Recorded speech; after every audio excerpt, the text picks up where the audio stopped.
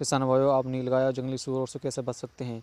आप ले सकते हैं मठा प्लस लहसुन छिला हुआ। इसे दोनों में मिक्स करके बीस दिन बाद अपने खेत के चारों ओर कर दें और इससे बदबू बहुत ज़्यादा होएगी और आपके जंगली सूअर खेत में नहीं बढ़ेंगे।